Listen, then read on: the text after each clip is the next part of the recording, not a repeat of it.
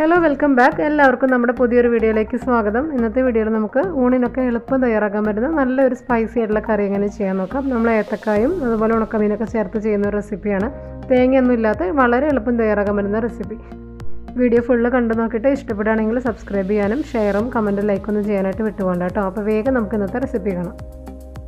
നമുക്കപ്പോൾ റെസിപ്പി ചെയ്യാൻ തുടങ്ങാം. അതിനായിട്ട് ഒരു മൺചട്ടി ഒന്ന് ചൂടാവാനായിട്ട് വെക്കുക. നല്ലപോലെ ചൂടായി കഴിഞ്ഞാൽ ഒരു മൂന്ന് ടേബിൾ സ്പൂൺ വെളിച്ചെണ്ണ ഒഴിച്ചു കൊടുക്കുക കേട്ടോ.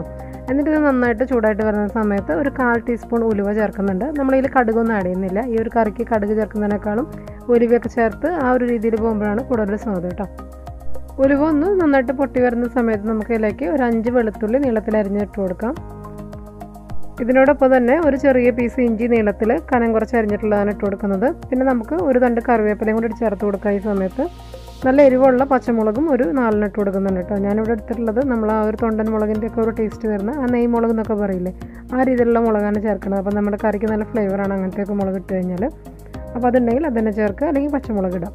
പിന്നെ നമുക്ക് വേണ്ടത് ഈ ഒരു കറിയുടെ ഹൈലൈറ്റാണ് തേങ്ങാക്കൊത്ത് കേട്ടോ. അത് ഒരു പിടി തേങ്ങ കൊത്തിട്ട് കൊടുക്കുന്നുണ്ട്. ഇതിന്റെ ഒരു ടേസ്റ്റ് ഇഷ്ടമാണെങ്കിൽ കൂടുതലിടാം പക്ഷേ നമ്മൾ എടുക്കുന്നത് ആ ഒരു മീൻ പറഞ്ഞാൽ കുറച്ച് ക്വാണ്ടിറ്റിയാണ് ഒരു പിടി മീനൊക്കെ എടുത്തിട്ടുള്ളൂ. അപ്പോൾ അതിന് ഇത്രയും തന്നെ കണക്കാണ് കേട്ടോ. ഇനി ഒരു രണ്ട് മിനിറ്റ് ഇത് മാത്രം ഒന്നായിട്ട് നല്ല വറുത്തെടുക്കണം. ഈ ഒരു തേങ്ങയൊക്കെ ഒന്ന് ചെറുതായിട്ട് മൂത്ത് വരുന്ന വരെ ഒന്ന് കുക്ക് ചെയ്യുക ഒരുപാട് ഡ്രൈ ആക്കണ്ട. ജസ്റ്റ് ഒരു രണ്ട് മിനിറ്റ് മാത്രം ഒരു മീഡിയം ഫ്ലെയിമിലിട്ടിട്ട് ചെയ്യാം. ഇനി നമ്മൾ ആഡ് ചെയ്യാൻ പോകുന്നത് ഒരു സവാളയുടെ പകുതി. മീഡിയം സൈസുള്ള സവാളയുടെ പകുതി ചെറുതാക്കി കട്ട് ചെയ്തതാണ്. അതുകൂടി ചേർക്കുന്നുണ്ട്. ആവശ്യത്തിന് ഉപ്പുകൂടെ ചേർത്തിട്ട് ഇതൊന്ന് വഴറ്റിയെടുക്കാം. ഉള്ളി ഒന്ന് നല്ല സോഫ്റ്റ് ആയിട്ട് വരുന്നവരെ നമുക്കൊന്ന് കുക്ക് ചെയ്യാം.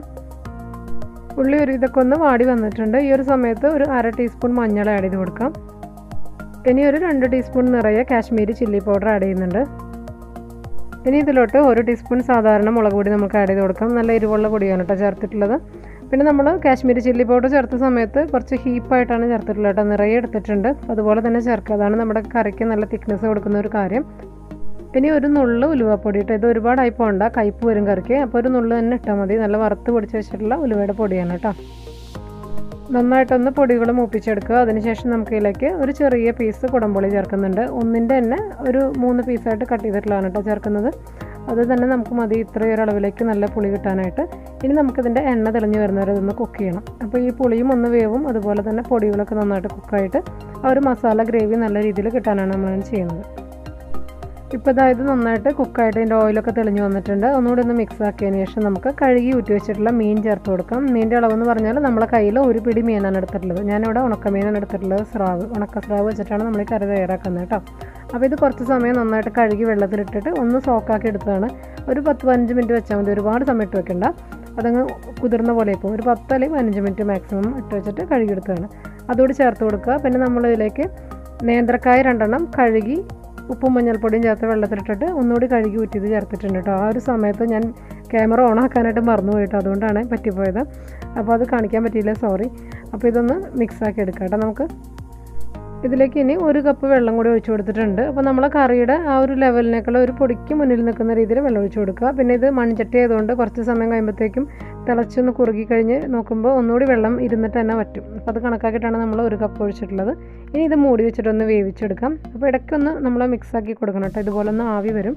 അപ്പോൾ ഒരു മീഡിയം ഫ്ലെയിമിൽ ഇട്ടിട്ട് ആദ്യം ഒന്ന് ലോ ഫ്ലെയിമിലിട്ട് കുക്ക് ചെയ്യുക. പിന്നെ ഒരു പകുതിയോളം വെന്ത് കഴിഞ്ഞാൽ പിന്നെ ഒരു മീഡിയത്തിലിട്ടിട്ട് കുക്ക് ചെയ്യാം ഈ കറിയിൽ പിന്നെ ഉപ്പ് ചേർക്കുന്ന സമയത്ത് നല്ലോണം ശ്രദ്ധിക്കണം. ഈ കായ നമ്മൾ അരിഞ്ഞിട്ട് വെള്ളത്തിലിടുന്ന സമയത്ത് ഉപ്പും മഞ്ഞളും കൂടി ചേർത്തിട്ടുള്ള വെള്ളത്തിലാണ് ഇടുന്നത് കേട്ടോ. അപ്പോൾ അതിന്റെ കറിയൊക്കെ ഒരു കുറച്ച് സമയം കഴിയുമ്പോഴത്തേക്ക് ഇറങ്ങി വരും. അത് നന്നായിട്ട് വാഷ് ചെയ്ത് ഒന്നുകൂടി ഒന്ന് ഡ്രെയിൻ ചെയ്തിട്ടാണ് നമ്മൾ ചേർത്തിട്ടുള്ളത്. അപ്പോൾ അതിനകത്ത് ഉപ്പുണ്ട്. അത് കുറച്ച് കായൽ എന്തായാലും ചേർന്നിട്ടുണ്ടാവും. പിന്നെ ചേർക്കുന്ന ഒരു ഉപ്പ് എന്ന് പറഞ്ഞാൽ ഉണക്കമീനിൽ ഉപ്പുണ്ടാവും. അപ്പം ആദ്യമേ കുറേ ഉപ്പിടണ്ട. അത് മീനൊക്കെ ഒന്ന് വെന്ത് കഴിഞ്ഞിട്ട് നോക്കിയിട്ട് പോരെങ്കിൽ മാത്രം ആഡ് ചെയ്ത് കൊടുത്താൽ മതി കേട്ടോ. ഇതിൽ നമ്മൾ നേന്ത്രക്കായ ആഡ് ചെയ്തിട്ടുള്ളതുകൊണ്ട് തന്നെ അധികം വേവൊന്നുമില്ല. പെട്ടെന്ന് തന്നെ വേവുന്ന കാര്യമാണ് നേന്ത്രക്കായ. അതുപോലെ ഈ മീനും പെട്ടെന്ന് തന്നെ കുക്കാവുന്ന തരം മീനാണ് കേട്ടോ. ഈ മീനിന്റെ ഫ്ലേവർ ഈ ഏത്തക്കായിലേക്ക് പിടിക്കുമ്പോൾ നല്ല ടേസ്റ്റാണ് അതാണ് ഈ കറിക്ക് ഒരു പ്രത്യേക രുചി കിട്ടുന്ന ഒരു കാര്യം എന്ന് പറയുന്നത്. ഈ കായ് കഴിക്കാൻ തന്നെ ഒരു സ്പെഷ്യൽ ആയിട്ടുള്ള ടേസ്റ്റാണ് കേട്ടോ. അപ്പോൾ ഇത് വെന്തിട്ടുണ്ടെന്നൊക്കെ നമുക്ക് നോക്കാം. അതായത് പെട്ടെന്ന് തന്നെ ഇതായിട്ടുണ്ട്. അപ്പോൾ ഇനി ഒരുപാട് കുക്ക് ചെയ്യേണ്ട. ഉടഞ്ഞു പോകാത്ത രീതിയിൽ നമുക്ക് കിട്ടണം. പിന്നെ ഇരുന്ന് ആ ഒരു ചട്ടിയുടെ ചൂടുകൊണ്ട് ഒന്നുകൂടി ഇത് കുക്കായിട്ട് വരും.